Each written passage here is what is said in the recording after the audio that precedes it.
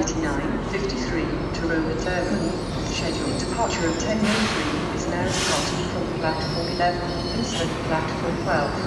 This train will not call at intermediate stations. Smart angles are located